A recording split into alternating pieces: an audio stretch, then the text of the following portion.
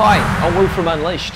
In this video, I'm going to explain the weighted average method, which is one of three methods for costing inventory in a business.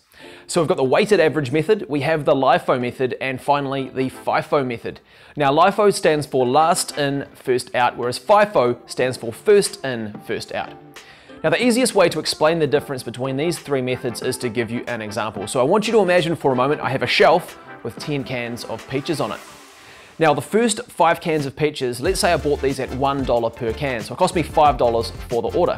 Now my next five cans of peaches I ordered at $2 per can, so it cost me $10 for that order.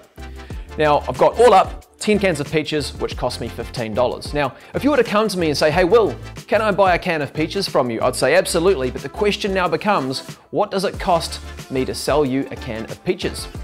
Now under the LIFO method, it's the last in, first out. So the last can that went in cost me $2. So it cost me $2 to sell you a can of peaches. So I'd calculate my profit based on a $2 cost.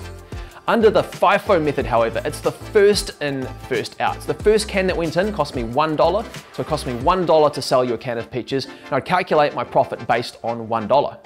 Under the weighted average, I'm gonna take the total cost, which is $15, and divide it by the total number of cans I have, which is 10, giving me $1.50 per can. So under the weighted average method, it costs me $1.50 to sell you a can of peaches, and I'd calculate my profit based on $1.50 of cost. So that's the difference between the three methods, but the question now becomes which method do we choose for our business?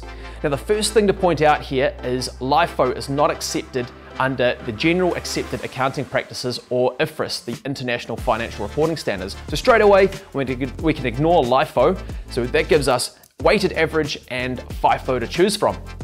Now there are a lot of benefits in both methods. The benefit of FIFO is we do in theory get a more accurate representation of the cost of each product, but the downside is the administration because we need to be tracking all of our units as they come in and as they go out.